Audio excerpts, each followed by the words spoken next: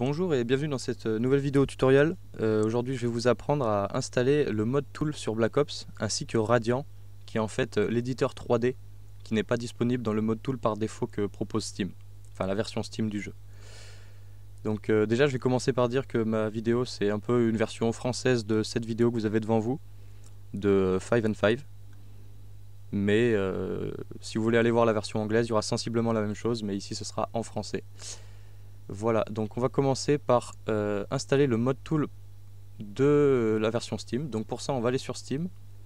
Et euh, dans notre bibliothèque, on va aller dans Jeu ici. On va aussi débloquer les outils. Voilà. Et une fois qu'on a les outils débloqués, on a le mode tool bêta de Black Ops. Donc voilà, on va l'installer. À l'endroit par défaut, ça me va très bien.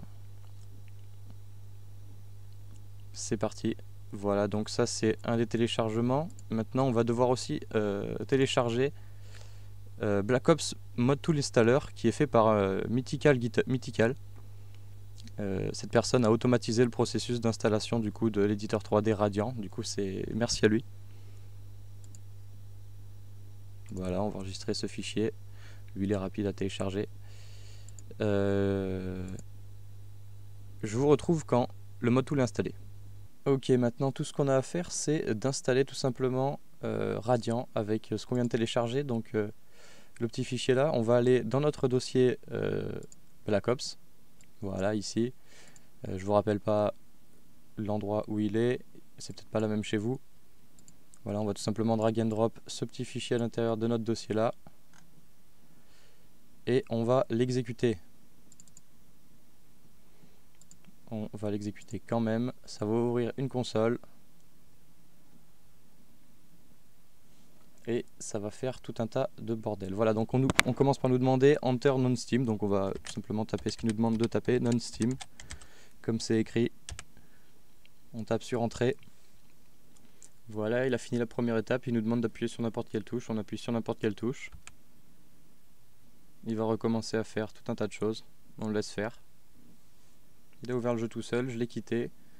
Euh, maintenant, euh, on va réappuyer une fois sur une touche. Et là, voilà, il commence à extraire tous les fichiers qu'on va avoir besoin euh, dans le mode tool. Donc, je vous retrouve après l'extraction de tous les fichiers. Ok, donc voilà, ça, a fini de, tout convertir. Donc, bah, il nous demande à nouveau d'appuyer sur une touche. Et là, normalement, c'est terminé. Euh, voilà, tout est bon. Ben maintenant, genre, on peut se retrouver dans le dossier Black Ops. On peut aller dans Bin. Et là, on va aller trouver le launcher du mode tool. Donc, je vais l'envoyer sur le bureau aussi. Voilà. À côté, à côté euh, de mon bat pour lancer le jeu en modé. On va exécuter ça en administrateur et on va tout simplement rentrer dans le mode tool. Voilà, donc si tout s'est bien passé, vous devriez avoir ce bouton là qui, est là, Radiant, qui est donc l'éditeur 3D qui nous intéresse fortement. Donc euh, on va faire un petit exemple euh, pour la vidéo. Donc euh, on va genre créer un nouveau mode. On va aller dans Level, on va se mettre en single player, on va faire Create Map. Moi je vais faire une map zombie, donc on va partir sur zombie mode. Je vais l'appeler zombie underscore euh, tuto. Et OK. Maintenant qu'on a euh, notre map de créer, on va cocher tout ça, comme ça ce sera fait. Euh, on va faire mode spécifique map ici, et on va mettre zombie. D'ailleurs, ce zombie là, on va tout de suite aller en faire une copie, comme ça si on veut faire une autre map plus tard, on aura une copie de ce zombie. Donc on va aller dans notre dossier Black Ops, on va aller dans Mods, et là, on a un dossier zombie. On va tout simplement le copier, le coller sur place. Non, pas en raccourci. Le coller. On a une copie, voilà. Bah, je vais le laisser euh, comme ça, ça va très bien. Donc ça, c'est fait. On revient ici. Donc on a notre map, on a fait ça, ça, ça.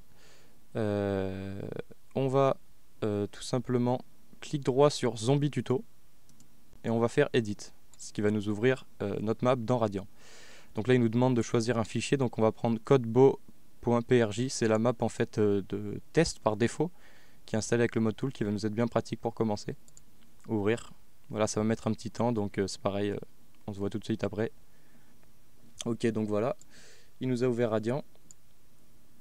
Et on est dans l'éditeur 3D, c'est magnifique. Voilà, on est là-dedans. donc ça, va être un peu difficile à prendre en main. Pour se déplacer, il faut appuyer sur clic droit. Puis on avance avec la souris, on recule, gauche-droite. De cette manière-là, on bouge que de face sur, sur un plan horizontal. Euh, je vous explique rapidement la caméra parce que c'est quand même la base du truc. Euh, ensuite, euh, contrôle, tout en maintenant clic droit et on va pouvoir monter et descendre notre perso et ainsi qu'aller sur la gauche et la droite tout en maintenant la touche contrôle. Et dernière combinaison, contrôle shift et toujours clic droit et là on va pouvoir bouger la caméra dans tous les sens. Donc c'est un peu compliqué à prendre en main au début puis ensuite on s'y fait, ça va. voilà, donc là on est sur notre petite map test. Qui est par défaut, donc j'ai rien fait là, mais il nous propose ça. Donc on va pouvoir regarder à quoi ça ressemble. Moi je vais juste créer quelque chose sur la map pour vous montrer que j'ai bien édité la map. Je vais créer un volume, voilà il est ici, hop, euh, On va le faire un peu gros comme ça on le verra bien. Je vais le faire en bois, voilà un gros cube de bois en plein milieu. Euh, je vais faire file, save. Je vous montre pas plus euh, l'éditeur aujourd'hui, ça sera peut-être dans une autre vidéo. J'ai save, je vais fermer ça. Et donc là, on va compiler notre, notre euh, level. Donc on, a bien vérifié qu'on a coché tout ça en mode spécifique zombie. Et euh, c'est parti pour la compile. Donc là, il va faire tout un tas de choses euh, dans la console. Il va peut-être y avoir des erreurs de temps en temps, on va falloir les résoudre, mais j'espère que pour cet exemple, il n'y en aura pas. On vient quand même d'installer le truc. Sachant que au plus votre map sera grosse, au plus ce processus de, de compile sera, sera, sera long. Ok, il nous demande d'autoriser l'accès, on va le faire.